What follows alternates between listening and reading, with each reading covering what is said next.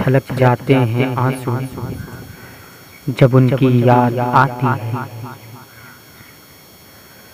ये वो बारिश है जिनका कोई मौसम नहीं होता।